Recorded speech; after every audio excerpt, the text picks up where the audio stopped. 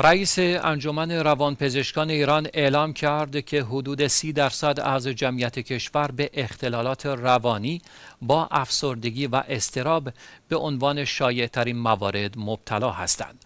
عوامل اجتماعی و اقتصادی از جمله فشارهای مالی و احساس ناامیدی بر افزایش این اختلالات تأثیرگذار بوده و ناتوانی در تأمین هزینه های درمان و تابوهای اجتماعی به چالش های موجود در این حوزه افزوده است.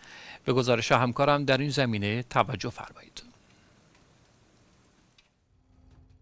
رئیس انجمن روانپزشکان ایران از ابتلای سی درصد جمعیت کشور به اختلالات روانی خبر داد و اعلام کرد که افسردگی و استراب شایع ترین اختلالات در میان ایرانیان است.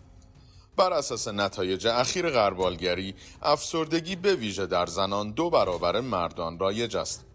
عوامل اجتماعی و اقتصادی از جمله فشارهای مالی و احساس ناامیدی به شدت بر افزایش این اختلالات تأثیرگذار بودند.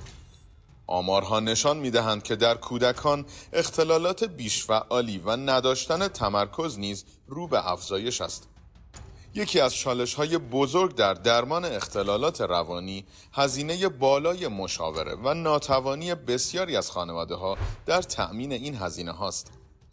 همچنین تابوهای اجتماعی در مراجعه به متخصصان رواندرمانی نیز به افزایش مشکلات دامن زده است.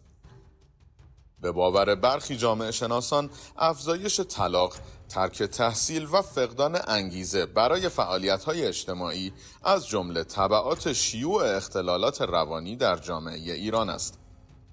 ناتوانی در دستیابی به اهداف و فقدان امنیت اقتصادی نیز به افزایش استراب و افسردگی دامن می‌زنند. از این رو توجه به مسائل اجتماعی و تغییر نگرش جامعه نسبت به اختلالات روانی می تواند به افزایش آگاهی و بهبود سلامت روان در کشور کمک کند. به ویژه نیاز به گفتگو درباره این موضوعات و کاهش احساس شرم و ننگ می تواند به درمان بهتر و مؤثرتر مبتلایان منجر شود.